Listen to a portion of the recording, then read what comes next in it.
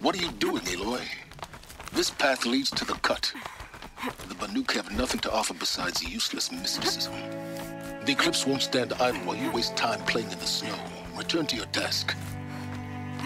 I was thinking, Banuk shamans thread blue cables through their skin, right? Kind of like someone else we know, huh? So maybe the real reason you want me to stay clear of the Banuk is to stay clear of your past. It's not my past that consumes me, Aloy, but the Master Override. Which is why you should stop prattling and get back to what matters. As usual, you do as you wish. Hmm. Touchy.